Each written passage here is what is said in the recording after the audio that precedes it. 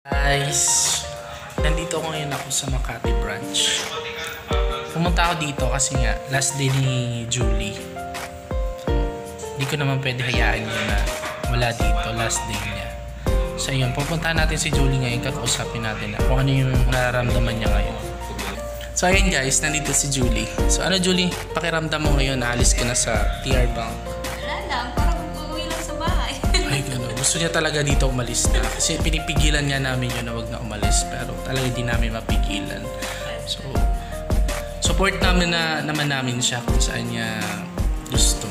Tsaka, para din naman yun sa Talaga naman. Ano? so, ayun. ah, last day niya. So, ano masasabi mo sa amin, Julie? Sige na, maglabas ka na ng mga sama ng loob dyan.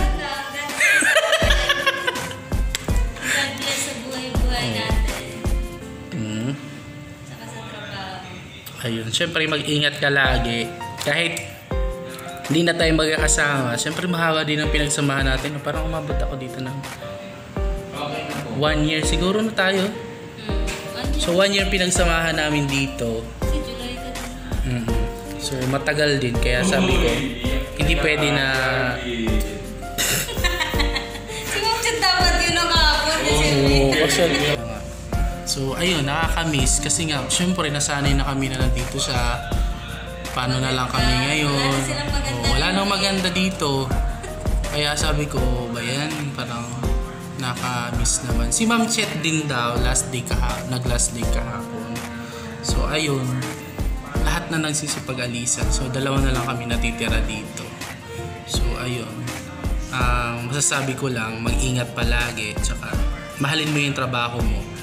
Kasi doon ka magtatagal. Kasi sa lahat, gano'n naman lagi. Kasi sa umpisa lang mahirap.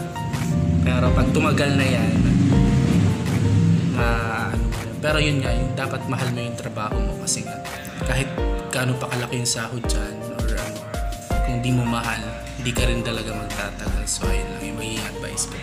Ingat palagi at saka mahalin mo yung trabaho mo. Tsaka, syempre wag mo kami kakalimutan, baka mamaya dyan kayo mama. Siyempre walang limutan. Sino yayaman mauna? Anak ko. Talaga magkahabulan talaga tayo. Kaya nga sabi ko nga sa kanya, pag pag na-monetize na si Sir Paul, syempre habulin namin si Sir Paul. Hindi pwedeng walang Hindi mga... mo na monetize. Oo, walang mangyayari. Maghahabulan kami nito. So, ayun. Ayun. Si Julie kasi, pag nandito kami, maingay. Kaya wala lang maingay. Para na kami mga ano dito. Ang laki-laki ng office, tapos ilan lang yung tao, di ba? Parang ang pangit. Parang hindi siya... Nakakamiss. Mamimiss ko yung mga ano dito. Kulitan. kulitan. Kasi si Julie lagi yung ano eh. Lagi kasama bumili ng pagkain. So, wala na bibili ng pagkain. Wala na kami kakain. Magbabaon na lang din ako kasi Lumayad na. Oo, si Sir Paul naman laging nagbabaon. So ako lang yung bumibili, bumibili sa labas. So ganun na lang. Wala, wala nang kakain. So baka it's time na rin siguro para talaga magtuluyang mag-diet ako. Uh, ayun, di ba? One year tayo dito tapos may ibilang iiwanan. Dulo, tingnan mo pati yung ilaw nagdidisigari sa pag-alis mo.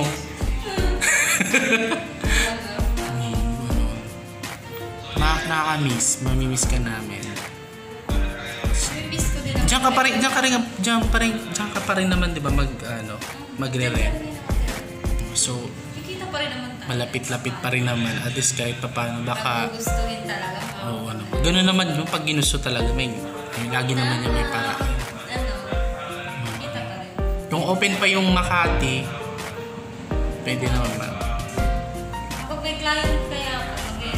Tsaka gagawin ko na rin yung INT dito.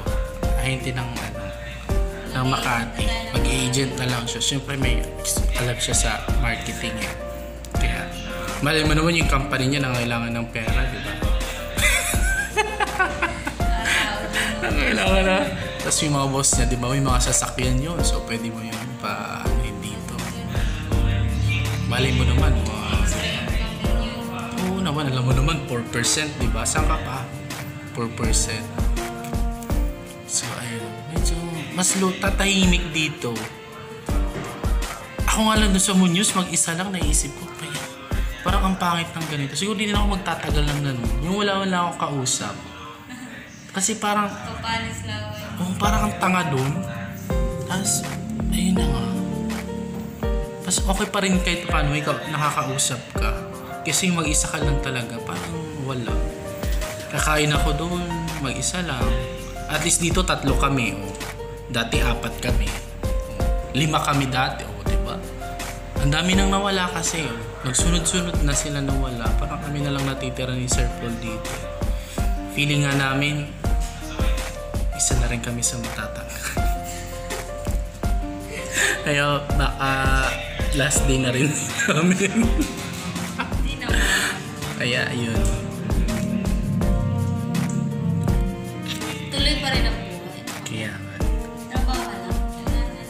Buhay.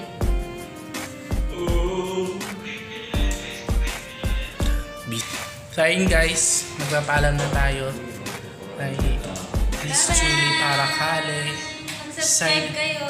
Signing off. Ay, laging minsan na Signing off. Oo, oh, oh, baka ano naman. Parang ang pangit ng vlog na to. Parang hindi yata ipopost. Nakakalungkot naman. So ayan, mabasa ganun pa rin. Keep- At least may nagkasama ka sa vlog ko. Makikita mo din yung mga memories natin. Yung unang-unang vlog, di ko talaga makalimutan yun. Sir, pag napapanood siya, napapanood ko siya ngayon, taw- tawang-tawa talaga din ako. Kasi nga, kalokohan lang naman talaga yun. Tapos, tingnan mo, nag-grow na tayo. So, part ka din ng aking ano, family. Ng Tama. YT. Dapat part din ako Kasi, o di naman talaga yun matutuloy, swear talaga kung hindi dahil sa dalawa. Kasi sila din nag-push sa akin. Tapos, na, Push na ano ko naman na, sige na nga, tuloy na natin to, push-push na. So, ayun, kaya meron na tayong, ayun, malaking, ano, YouTube channel. So, thank you kay Miss Julie, tsaka kay Sir Paul. So, ngayon si Sir Paul, ah, subscribe niyo sa kanyang channel, Team PG channel, which is, yun, lumalaki na rin siya. So, ibaba, ibababa ko yung, ano niya, yung Sa description. sa description below yung kanyang link. So, si guys, please support my my Ay, galing. okay. Also kay Galilees which is yun din ang isa sa mga nagturo sa akin para lumaki yung aking channel. So, so ibababa ano ko din siya, ibababa ko din siya dito sa description. So, yun guys, that's it for today's video. Thank you. Paalam, Julie. Bye-bye! Until next time. Subscribe po kayo and like, comment, and share. Yes, tama yun.